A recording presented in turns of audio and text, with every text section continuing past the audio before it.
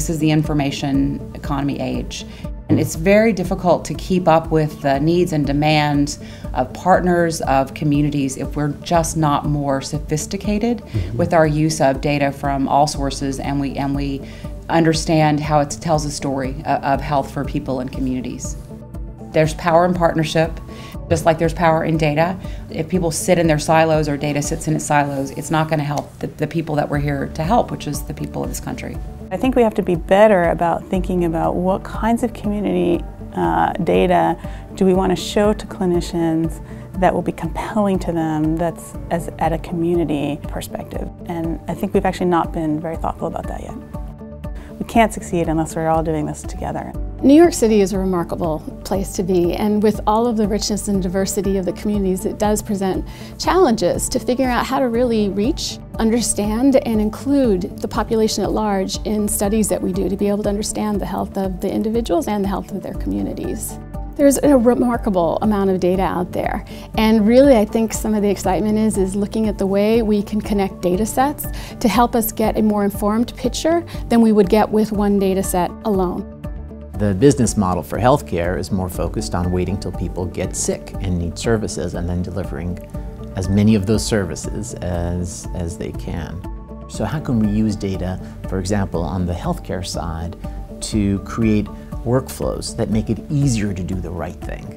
Um, so to me, that, that attention on not data for its own sake, but data as, um, as a way to get to the outcomes that we want and work backwards from the outcomes, from the what's the question to how do we provide clarity, how do we provide motivation, and how do we make it easier to do the right thing.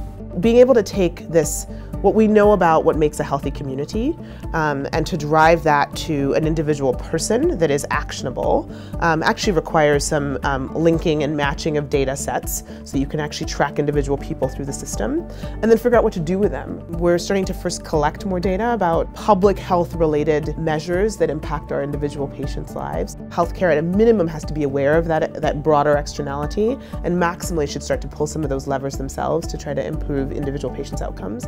How do you build trust with community? I mean, there have been big data breaches recently. We've read about them in the news, uh, really across uh, in, from a whole variety of sources. How can we uh, engage communities of people, but at the same time uh, engage their trust at the same time in this era? Transparency is not only in stating you're transparent, but in actions over time. So one, um, private sector companies have to be able to build a long-term relationship with communities. As you see more entities coming into play here, using uh, health data and working in the population health space, um, their ability to create trust through uh, constant communication, transparency, and engagement is going to be key. A couple of bright spots really struck me today. One is the notion that, uh, at some sense, less is more.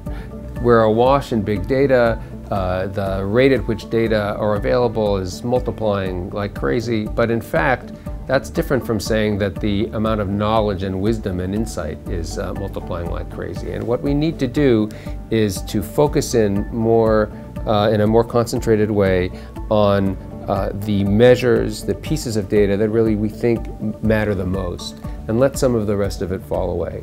Otherwise, it becomes really uh, disorienting, frankly, and, uh, and difficult to find a path forward.